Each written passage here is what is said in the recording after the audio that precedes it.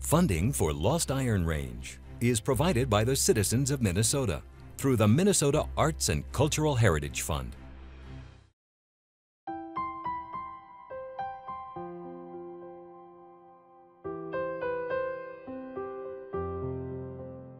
The Iron Range. The name itself describes both the metal that made the region famous and the internal fortitude of its first settlers. Iron indeed.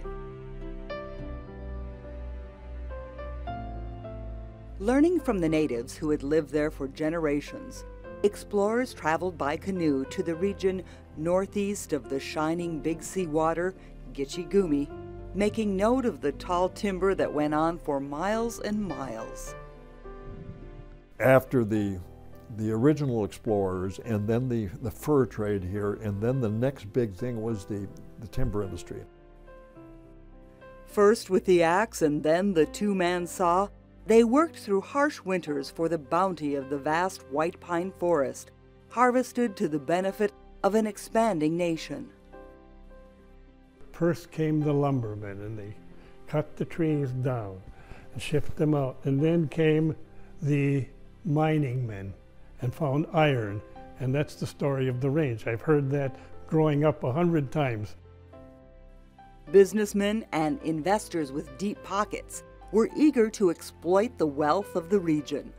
But to do so, they needed capital of the human variety. When the influx of foreigners arrived in these parts, it didn't look like this. But sites like this are a testament to why they came. First, to harvest the virgin forests and make their living off the wood, then to go deeper into the land for the metals. It was the iron in the rock that would define this region and transform it from wilds and backwoods into boom towns that grew up around a soaring new industry. In the winter, the weather got so cold they had to shut down mining for the season. But that didn't stop the immigrants from arriving by ship or by rail. How they heard about the Iron Range is one of those questions we don't know. The story we get is, well, my brother heard about it or my uncle heard about it, but we never found the brother or uncle who first heard about it. They came to America for one reason to work in the mines, make a little money, and go back to the old country and show everybody that they had made something of their lives. Uh, these are the kind of people that came to the range. Very ambitious, very hard workers. Where others could fathom only hardship, the first to arrive saw promise. With hard work and determination, they fashioned town sites in the dense, nearly trackless forest. Then came the company towns, incorporated villages, and booming cities like Virginia and Hibbing. The mining companies were king as big steel became a driving force of the 20th century. And if ore was found beneath the streets, entire towns were moved. My folks were the last people living in North Hibbing in 1967. And uh, there was a mining company office in the building next to our house, and uh, that was still in service, but everything else was gone. Huge companies like Oliver Mining, part of the Carnegie Steel Empire, rose to prominence thanks to the rich ores of the Iron Range. But that success was built on the backs of pioneers like the Merritts, Longyear, and Bennett, and generations of miners who worked in the dank underground and massive open pits. Well, the mining company tended to use competition. Who's better, these gangs of Italians or these Finnish gangs? Who can produce more ore? To each other, they were all the same, the color of iron ore. Everybody was a minority up here. Everybody. Whether you were Finnish, whether you were a Slav, you're a Montenegrin, you're a Bulgarian, you were a minority. So everybody was on equal footing. These mines and the miners of every nationality helped build the great American cities and win two world wars. And though the richest ore was soon mined out, new mining techniques kept the range's mining culture intact. Through it all, those with red ore stains on their boots remained steadfast, despite all that changed around them. That's the idea that all of us on the range have been brought up with. Nothing is permanent. These are the stories of those who came first to open up this untamed country. These are the stories of the Lost Iron Range.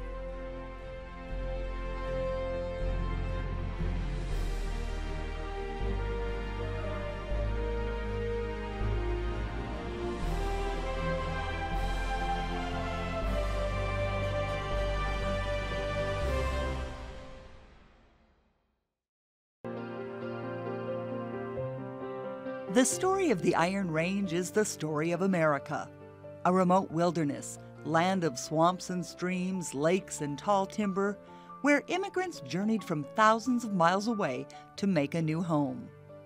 The earliest settlers found life was hard, and roads were mere trails through mosquito infested wetlands and primeval forests. The vastness of the white pine forest must have been really something.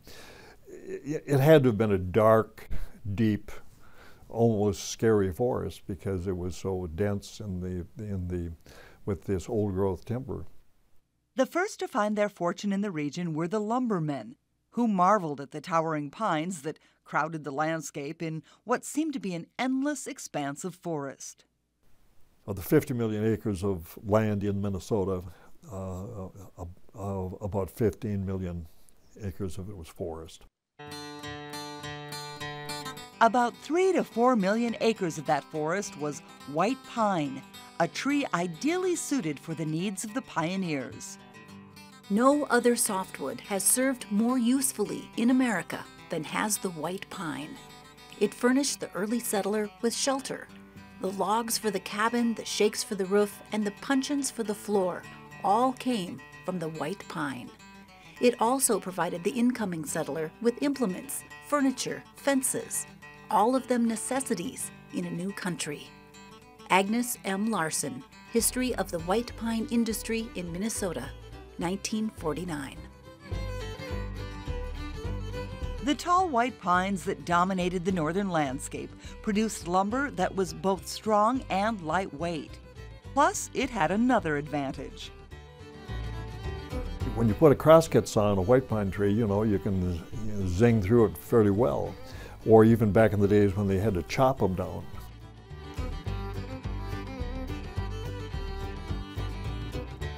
The lumber barons were quick to secure rights to vast tracts of the northern forest.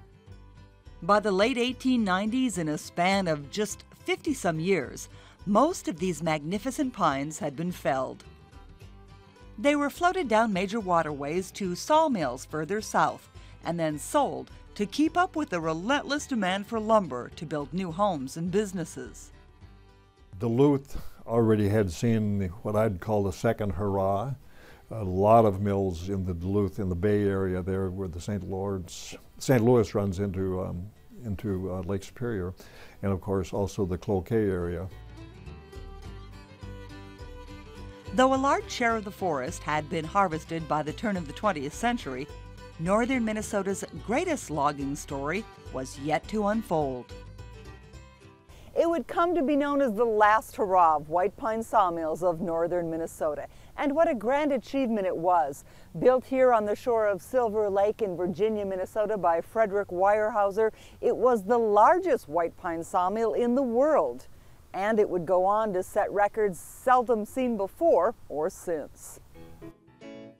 The massive Virginia and Rainy Lake Mill opened in 1910, employing close to 2,000 men and routinely cutting nearly 1 million board feet of lumber per day. Actually made up of three sawmills and a series of sorting and storage areas, the Virginia operations sprawled along the shore of Silver Lake. This area was once completely covered with wood completely. The lake was covered with logs. Okay. And uh, they were there winter and summer. Huh? They had a system called hot ponding. I don't know if you've heard the word, but what they did is drive steam from the plant over. Do you see the plant across the way? Well, they drove steam into the lake to keep it from freezing. And to this very day, it does that. This lake doesn't freeze. This area would have been entirely uh, tr uh, tram, tramways that went from pile after pile of lumber, which is stacked way high.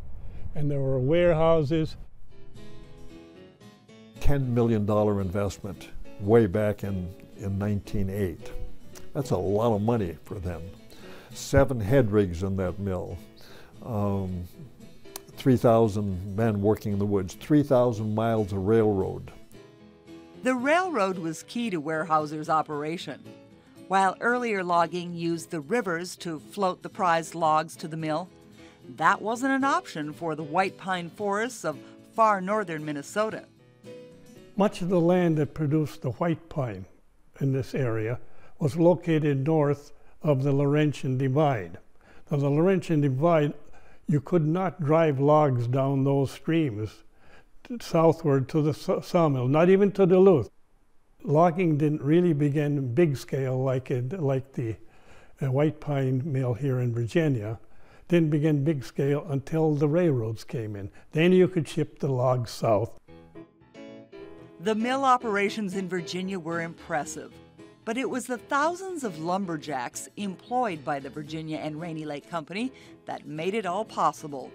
The army of men moving through the woods at that time just must have been uh, something to see.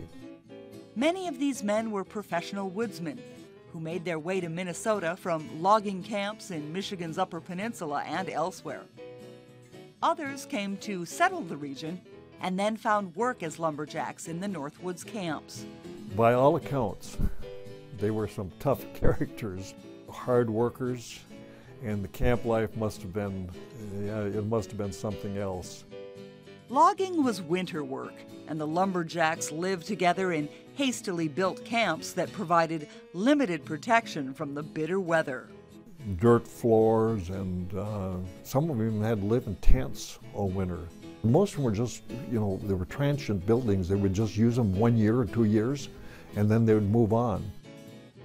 Once the pines were cut down, they had to be transported out of the woods and stockpiled for shipment to the mill.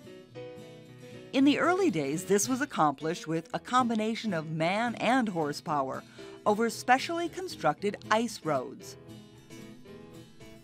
Then it had to be loaded onto these sleighs and, and uh, build these big loads and, and, get it to a river or a railroad. They did it in the wintertime so they could uh, build a, uh, up an ice pack on that road with ruts cut for the runners of the sleigh. It took skill and experience to load these sleighs, and the men at the top of the pecking order did so with pride. There's a, a picture, well-known picture of, of a sleigh load of logs. Um, it's got 34,800 board feet on it. It's 20 some feet high, 20 feet wide, packed solid with 16 foot long logs being pulled by a four horse team. With nearly 5,000 men in the forest, 900 horses, and 3,000 miles of rail line, the Virginia and Rainy Lake sawmill continued to set records for two decades. But by late 1929, Frederick Weyerhaeuser was ready to move his logging empire west. Was he prescient enough to know that the Depression was coming? I don't think so. He simply saw that even after only 20 years of having a world-class sawmill, a huge investment, sawing 300 million board feet per, per year, a million board feet per day often, you know, he decided to pack up and go west. And so that mill was shut down in October of 1929. One month later, the U.S. stock market crashed, the beginning of some very difficult times across the nation and on the Iron Range.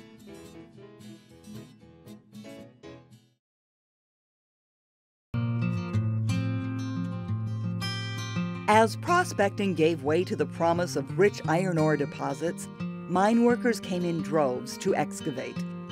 They needed to settle close to the work site.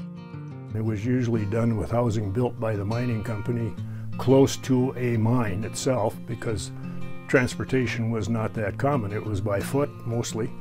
And so the location was close to the mine so the workers would get up and go right to work without spending a lot of time in transit. Know, the word location really comes from Michigan. It was used whenever something was located in a wild area. They had to say where it was going to be, the location is. And that was transferred to mining properties. These mining company communities popped up in large numbers across the Iron Range.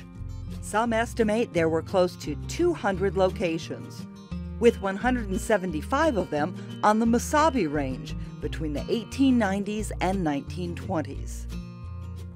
But they didn't all exist at the same time. Many times, three or four locations were gone, and then two more were coming up, depending on wherever the mining is concerned. But all the locations were mining locations, run by the company. You, you drew your water at the company well. You did your shopping according to the company processes. It could be delivered from somewhere or the company store. They simply allowed an area close to the ore body and said you can build a house there. The result was tar paper shacks, little shanties, the first kind of location that came on. Early on, they were rough places, residential enclaves that amounted to little more than a squatter settlement. This is Genoa location, and we're looking at the buildings around here. They're the remains of whatever the Genoa location was. It was a suburb of old Sparta. Sparta was one of the early towns of the range. As mining progressed with new processes and technology, mine companies recognized the need to accommodate well trained workers.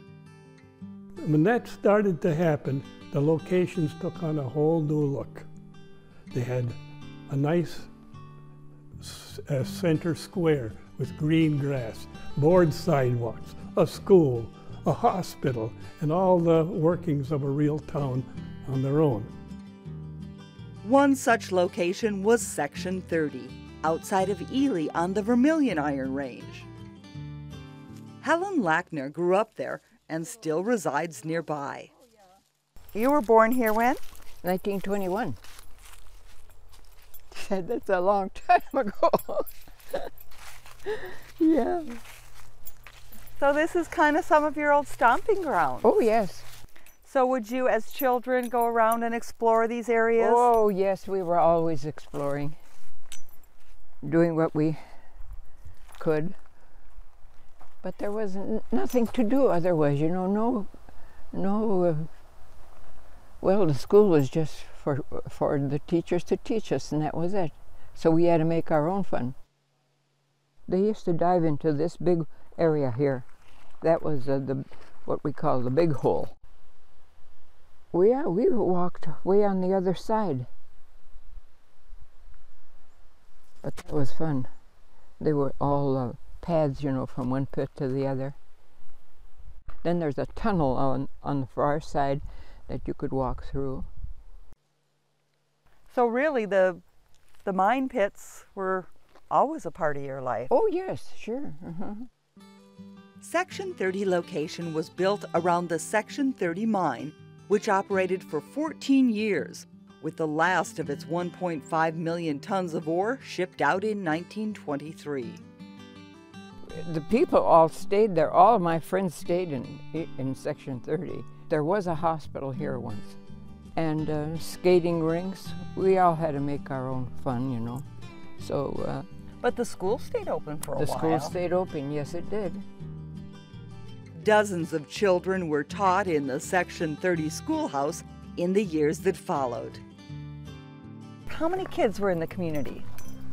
Oh my gosh, there was, well, you, four, four classrooms, and how many in each classroom?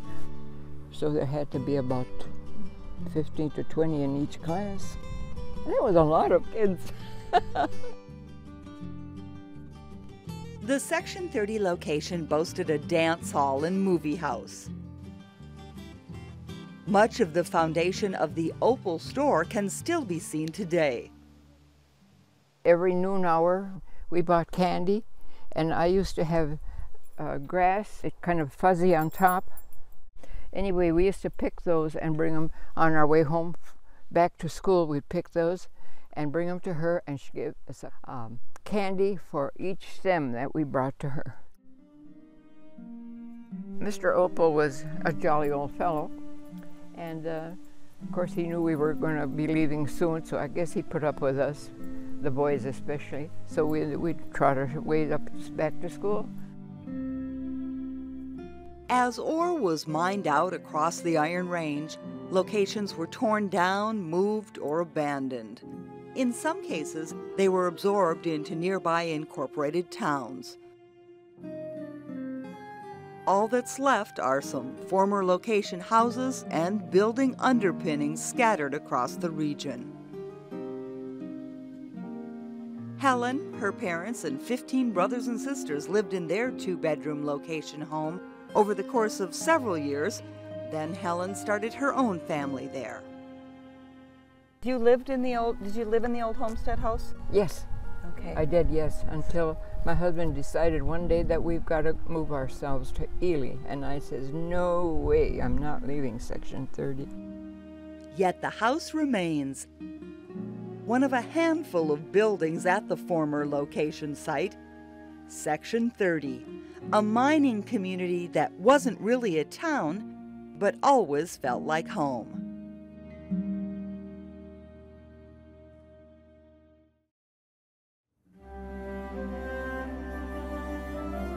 The rush of immigrants to the Iron Range brought workers from nearly two dozen nations, most making their way from homeland poverty or strife. They came from Western and Eastern Europe, Scandinavia, and the British Isles. It wasn't an easy journey to make, but they all came for the work and the promise of a better life, and brought with them their separate ways and customs a group of Jews began to settle up here in the Iron Range just about the time the, the Sabi Range in particular began to open. Most of them were coming from Eastern Europe. Uh, they were fleeing what was happening at that time in, in the Russian Empire, the pogroms, the persecution they were experiencing. This was a land of opportunity. They didn't come up here to be miners. That was not their, their area of interest. But they realized that the miners were potential customers. It was chain migration. One family came and then another family came and brought another family. In the 1920s, there were 1,100 Jewish people up here, considering there was probably only about 25,000 in the whole state. I mean, that's a pretty good number of Jews living up here. Things are going well. They came here to make a new life for themselves their house of worship became their gathering place. It became where they could maintain their traditions and also where they could tell other people who they were. They couldn't do it as individuals. They couldn't. They were poor. But together, they could make that statement in the house of worship they erected. They put up four of those houses of worship across the region and live lives that might not have been possible in other parts of the nation or the state. These four synagogues that ultimately were formed here on the Iron Range are the only ones in rural Minnesota. There weren't any others elsewhere. Imagine that. Four congregations up here, Eveleth, Chisholm, Hibbing, and Virginia. And they maintain those congregations. Here, you could worship openly and you could build your church and synagogue on the corner of a busy street and nobody was going to cause you any problems. We really found no evidence of discrimination, as you found in Minneapolis, which almost till the 1960s was known as the anti-Semitic capital of the nation. This area didn't experience that. So this building was built in 1909, 1910 by the Jewish families that had settled here in Virginia. It was the first house of worship on the range that was brick. It's a beautiful red brick building. First one that had glorious stained glass windows with Jewish symbols in them and Hebrew lettering. We have Noah's Ark there. Very rare to find a Noah's Ark symbol in a synagogue. Besides the story of Noah's Ark and the survival, these people came over here on a ship. These were immigrants who also survived. The Jews on the range didn't just survive, they thrived, helping build up range cities like Virginia and Hibbing, where you could often find block long stretches of successful businesses owned by Jewish families. Like the Roman block on Chestnut Street in Virginia. There were the Milovitz brothers businesses, the Shandling family clothing stores, the Ostrov grocers, and so many more. The Lybba Theater in Hibbing was owned by the Edelstein family and named for the grandmother of Hibbing's Robert Zimmerman, who we know as Bob Dylan. The Jewish families who had immigrated to the range thought they were here to stay, unlike other ethnic settlers who hoped to someday return home. In fact, when you look at the people who came to this region, I think about them sometimes. They came to America for one reason to work in the mines, make a little money, and go back to the old country and show everybody that they had made something of their lives. Most of the young men who came here were, we called them birds of passage. The Jews didn't have a homeland to go back to. I mean, you know, let's face it. For the Jews, the Iron Range became their new home, and they served it with hometown pride. They had the Sunshine Club, which was the women's auxiliary here, who would put together food packages. This is early in the 20th century, that they would distribute to families, not Jewish families, but families in need. A Finnish miner would be killed, would, but mining companies provided nothing. They would bring food over to that family. The Jewish community here made a contribution to the range. Yet the long-time future of that community was not to be. The bust of the mining industry meant scarce jobs for future generations. And you know, the schools up here were magnificent. So that a lot of these kids went away to college, Jewish and otherwise, because they had such a good education. To ask their kids to come back here was asking their kids to make a big sacrifice. As Iron Range business and industry declined, and the Jewish families moved on. One by one, the four Iron Range synagogues were shuttered or torn down, with the Virginia building the last to lose its congregation. Although it became conservative, this was an Orthodox Jewish congregation that required 10 men in order to have a minyan, in order to hold a prayer service. That last decade of its life, there were not 10 men that they could bring together in order to have a prayer service. Today, the B'nai Abraham Synagogue in Virginia is restored as a museum and cultural center. So while the congregation and most of the Jewish families are long gone from the Iron Range, the building serves as a testament to their lives, uniting the current community and keeping alive memories of the past.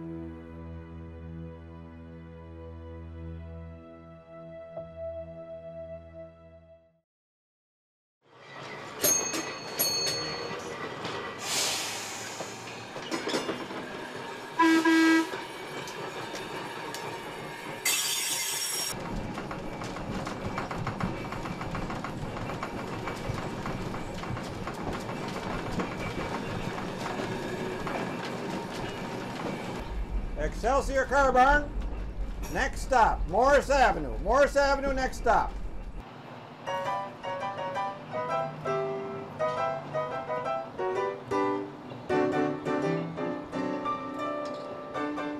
By the early part of the 20th century, the entire country was caught up in electrification fever.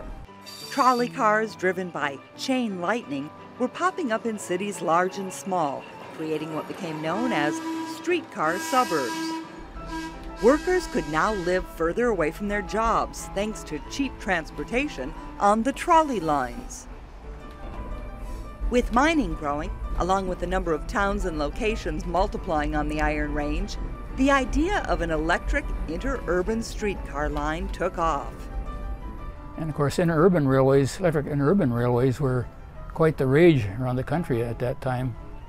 So the apparently uh, some Boston financial people got involved and figured that they, they could make some money by providing transportation service up there along the Iron Range, serving the miners and the locations and In 1910, the Mesaba Railway Company was formed.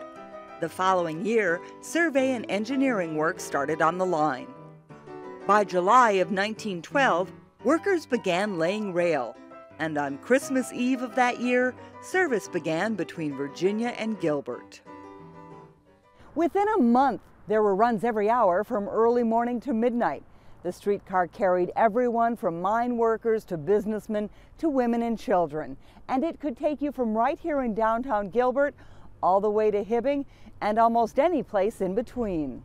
So you had easy shopping. People would jump on the car in Eveleth and go to Virginia to shop or over to Hibbing or Chisholm and catch another car and go back home that day, which gave them a lot of transportation capability.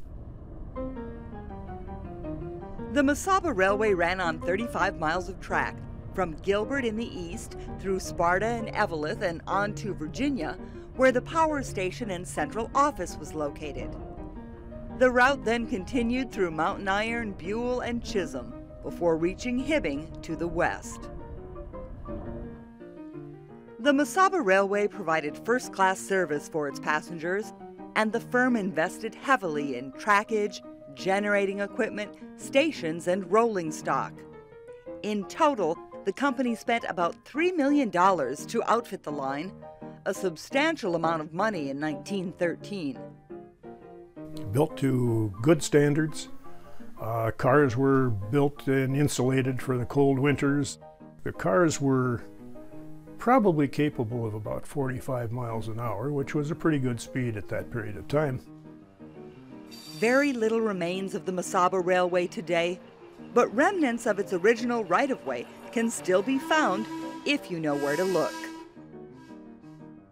Tell us We're where we standing on the exact line of the old interurban electric streetcar that connected the towns of the Mesaba Range. And uh, it's kind of surprising to some people that, that we'd find a, a streetcar connecting these small little towns and locations. But there were something like 44 sites in this area, 44 little towns, most of them locations. Mining activity had swelled the population in the towns served by the Mesaba Railway to 55,000 people, and the line flourished. Changes of shift in the mines, the streetcars were packed with miners going to work. Sometimes they had to have two or three cars running. Mining was a dirty business, requiring some special accommodations on board.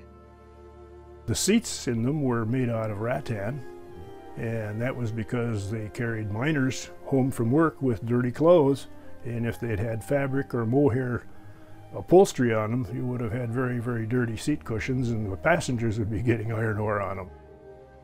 Escalating mine operations also presented difficulties for the Mesaba Railway, which had to route and reroute around new ore bodies. Sometimes existing tracks had to be moved to accommodate mining. This was in 1919 to 1921. They had to relocate the entire line between Hibbing and Chisholm. In the 1920s, better roads were built between the towns of the Iron Range, and motor bus transportation began to undercut the Mesaba railway business. It's succumbed to bus competition and to automobiles. As roads got better, people drove and uh, didn't ride the interurban. The company started operating at a loss and went into receivership in 1924. After several attempts to sell the electric railway with no takers, the decision was made to cease all operations. The last run on the Mesaba Interurban Railway was April 16, 1927.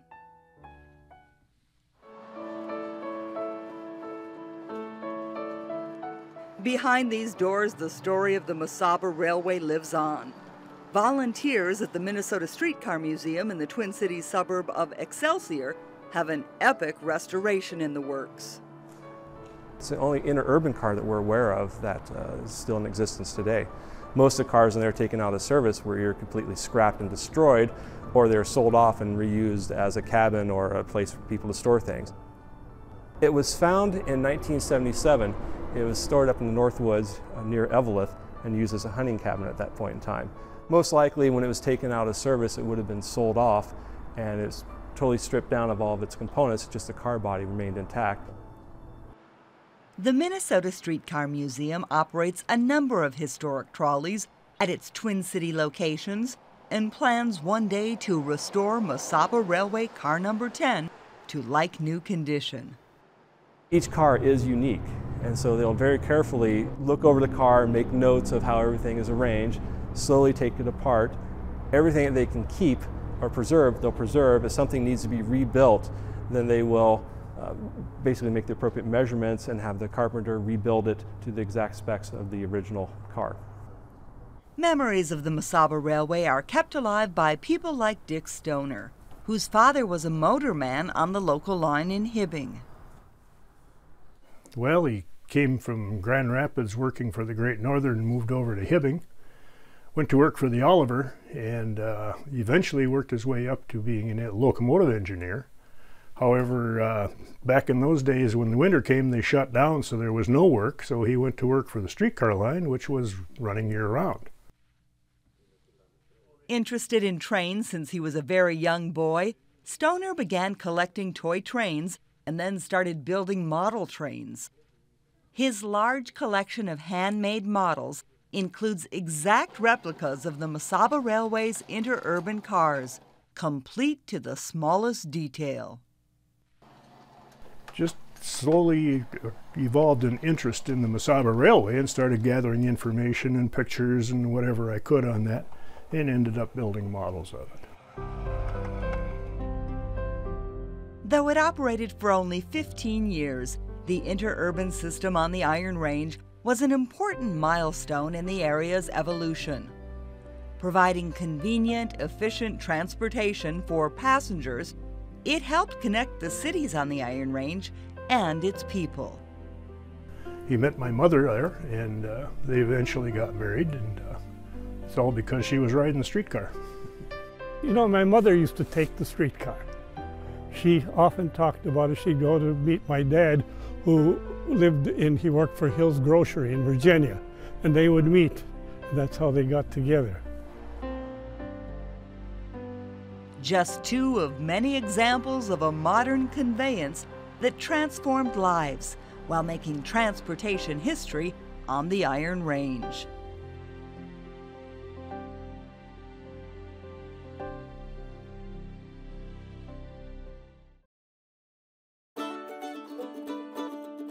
With the turn of the 20th century, the Iron Range was fast becoming a hotbed for industrial growth and potentially one of the most prosperous regions in the nation.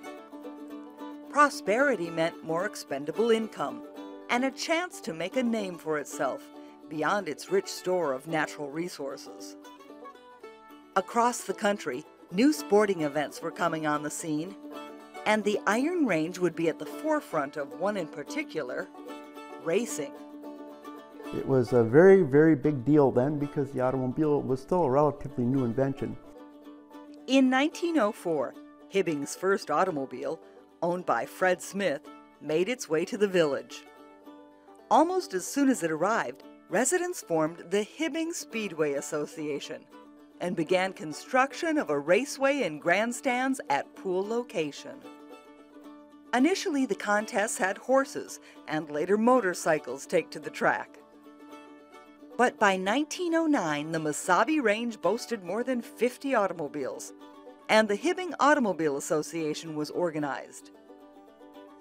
In September of 1911, they held the first motor car race at the Hibbing Raceway. The town's first car owner, Fred Smith, was the winner. And from there, the sport of race car driving took off. People, they really hard, had their hearts in promoting uh, motor racing in this area and uh, uh, would do almost anything to, to make it successful. Some of the races held here were advertised from California to New York. Uh, they had fully intended uh, Hibbing to become a hub of motorsports in the entire country. Long before the stock car racing of today, some of the earliest motor cars ever made thrilled racing fans with feats of speed across the city of Hibbing. Some of the nation's earliest motorsports contests were held on the Iron Range, with significant world records set right here. The Hibbing Raceway was a quite popular uh, venue for racers all over. Um, but road racing at that time was still very popular among the public because people were now owning their automobiles for the first time and traveling with them, and road racing was something they could identify more closely with than racing on a track. So, to complement the half mile oval dirt track at the grandstands, they set up a 10 mile loop across city streets and roads and set the stage for what would be the biggest racing event ever held in Hibbing a 100 mile Indy road race. A former racer, race enthusiast, and historian, Dave Aho stumbled on the particulars of that major race. It started with a document that I found that was for sale uh, from the estate of a major motorsports book publisher in this country. And it was the handwritten notes of an official that was at a race in Hibbing on the 4th of July 1916. There were about six cars in the race. Aho says mechanical problems during a practice run knocked other cars out prior to the start. This is the only known photo from the race, but Aho's diligence dug up plenty of other evidence of the prestigious occasion. I was able to find all of the American Automobile Associations, uh, AAA, uh, records for their sanctions by year and by sanction number. And sure enough, there is the 4th of July 1916 race sanctioned. I have the sanction number, and it was issued to the Hibbing Auto Club. Looking in the uh, Chisholm newspaper and the Hibbing paper, uh, I found all of the details. Details including the report of a train wreck on the very same day that was likely caused by race planners. Part of the race course was down First Avenue in Hibbing, where Howard Street is now. First Avenue crossed railroad tracks. The, the tracks were the property of the Great Northern Railway. And the track officials wanted to cover the tracks over with dirt uh, so the cars could pass over without hitting the, the actual tracks. They covered over the tracks at that crossing, and a little while later, a Great Northern passenger train came through, hit the sand on the crossing, and rolled the locomotive over. Um, there were some significant injuries, although no fatalities, and uh, a number of rather large lawsuits ensued. That incident didn't stop the race, however. Hibbing's 100 mile Indy Road run was completed with Chisholm native Elmer Shannon the victor. Shannon went on to race at the Indianapolis 500 three years later. There was no Indianapolis 500 in 1917 and 1918 because of World War I. Uh, in that period of time, Elmer Shannon purchased a Duesenberg race car, and when the Indianapolis 500 was set to resume in May of 1919, he headed to Indy with his new race car. It was entered as the Mesaba Special. But that is far from the end of Hibbing's association with Indy and national racing renown. Overall, it is nearly unbelievable the number of world famous drivers and world famous race cars that have been to races in Hibbing. Uh, at least 26 uh, drivers that are currently enshrined in the National Sprint Car Hall of Fame have been in Hibbing, and that would include Parnelli Jones and Johnny Rutherford. It also includes four Indianapolis 500 winners that have raced in Hibbing. The original Hibbing Raceway, like so much of the Iron Range, fell victim to mining interests and was swallowed up by the Hull Rust mine pit. Over the years, its replacement has served the enthusiasms of Aho and so many like him. Proud racers, fans, and residents, more than happy to follow in the tracks of racing legends of days gone by.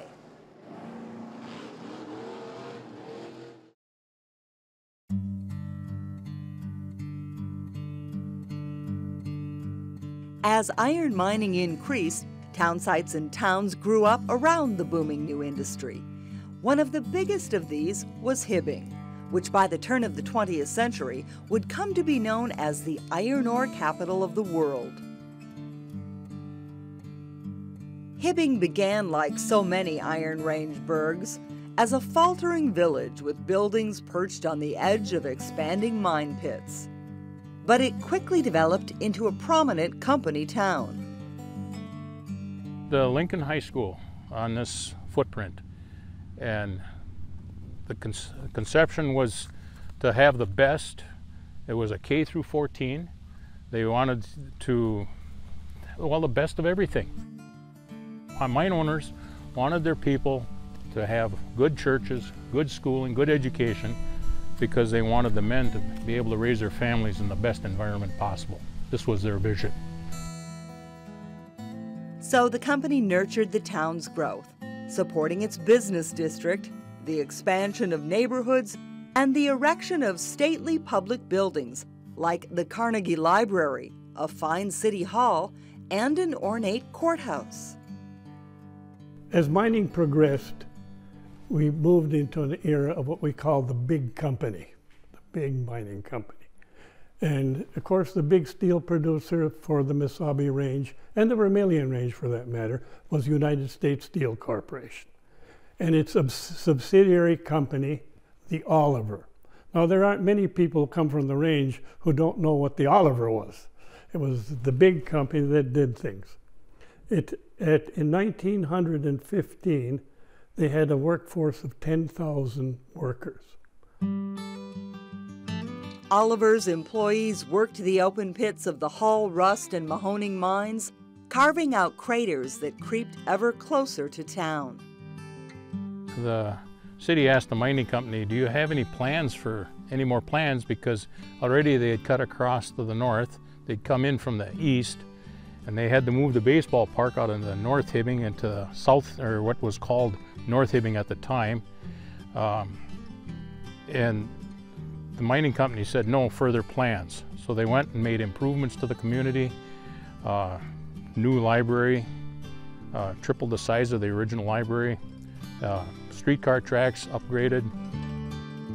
But with the advent of World War I and the realization that more rich ore lie beneath city streets, the company prepared to move the city out of the way. About how many people lived here when they first decided the town would have to move? I think it was around 15,000 at the time. Some were offered uh, money for their home, and when they sold, then they would uh, then try and force the other people to sell at lower, and you can read many accounts of people being forced out for next to nothing, others hanging on trying to get more money. Uh, there was even a lawsuit of the businessmen of on Pine Street and Third, in which uh, they sued the Oliver, uh, saying that they were paying them too little or offering them too little for their property, and they ultimately lost. So there was opposition to the move. Oh, definitely. Because people felt they should get more money for their property, and they so that's why, why they were balking, resisting.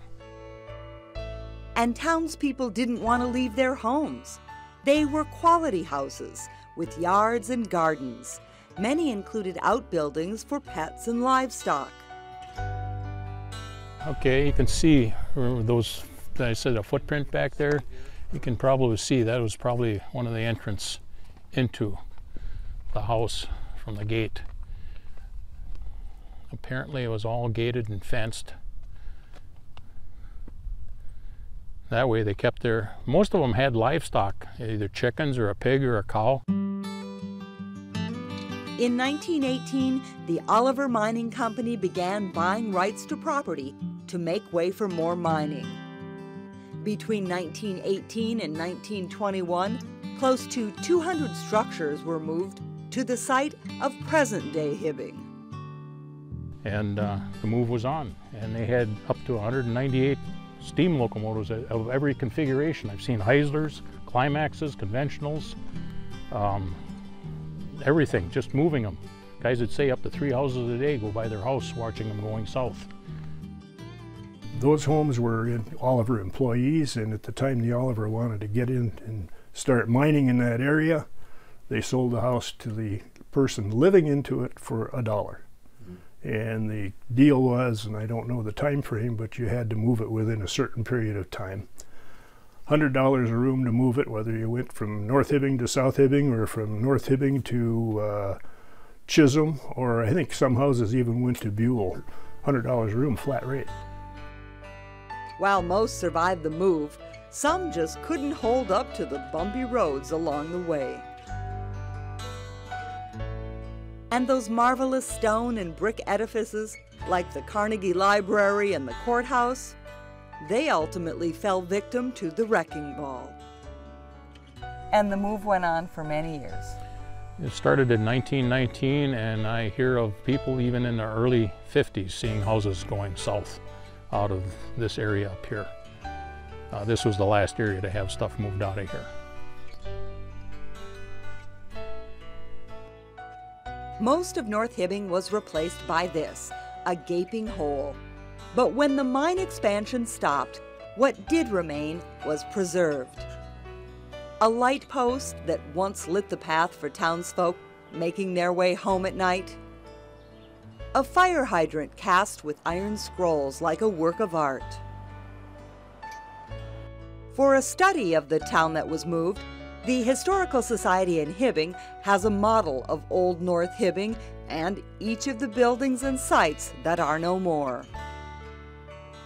And for its part, the Oliver Mining Company did invest in replacement structures and establishments that in many cases surpass the old.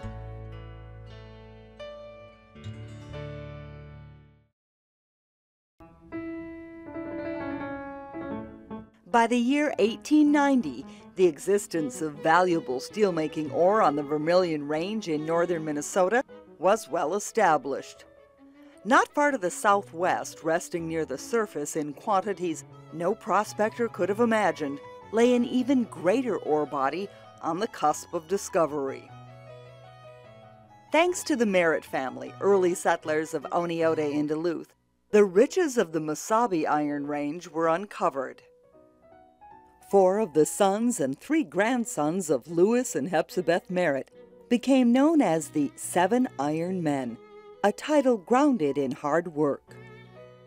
They came to Duluth as uh, lumbermen, really. They, they cruised the forest north of Duluth all the way to the Iron Range. Their father, Lewis J., came to the Iron Range during the time of the gold rush. And when he came back to Duluth, he came back and says, you know what, there might not be gold up there. He said, but when that, they get to mining that iron, he says there's going to be plenty for everybody. The sons combed the region, inspired by their father's belief that good ore would be found on the Mesabi Range. As the story goes, Cassius Merritt made the initial discovery, stumbling upon a lump of what proved to be rich iron ore in 1887 while surveying for a rail line between Duluth and Winnipeg. While the find was a breakthrough, much work lay ahead. The Merritts spent the ensuing years mapping potential ore bodies and digging test pits. Finally, in 1890, they found what they were looking for. On the 16th day of November 1890, workmen encountered soft hematite in a test pit on the northwest quarter of Section 3 Township 58, Range 18, west of the 4th Principal Meridian. The mine, now called the Mountain Iron, was the first body of soft ore discovered on the Mesabi Iron Range. Horace V. Winchell, Report on the Mesabi Iron Range, 1891. Despite the find, getting financial backing proved difficult because this ore was unlike any previously mined. But the ore that was found on the Mesaba Range wasn't the kind of ore that you find anywhere else. When steel manufacturers first began making steel out of Mesabi ore, they sent men up to look at the Mesaba range. And most of them said, this can't be iron ore. Iron ore is deep. Iron ore is hard and heavy. This is, is, looks like blue clay, nothing more. But the Merritts were confident in the quality of the powdery blue ore, which would become the foundation of the United States steel industry. The Merritts quickly found more deposits, as did others, and as word spread, a frenzy of speculation created more than 100 new mining companies. But the Merritts were ahead of the rest, already holding leases to the best mining property on the Mesabi.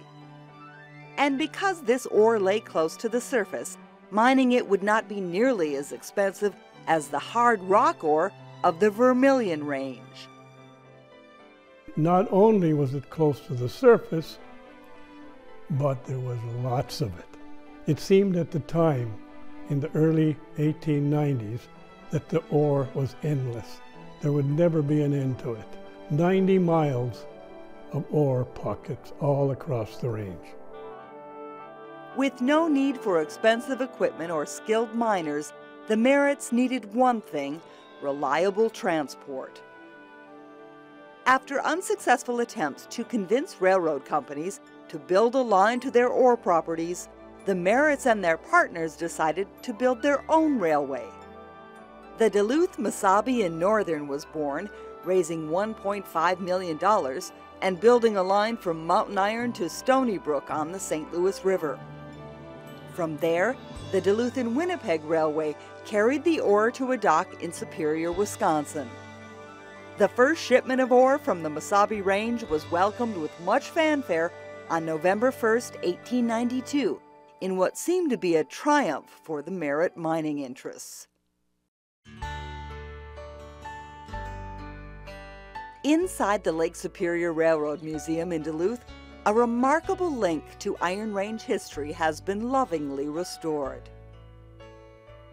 This is the business car Mesabi, built for the Merritt's Duluth Missabe and Northern Railway. They needed it to serve as a business car because they had the railroad to deal with, they had the mines to deal with, they had customers who were dealing with both aspects of the operation to deal with, and so they needed a convenient way of getting back and forth and at the same time being able to entertain business people on the car.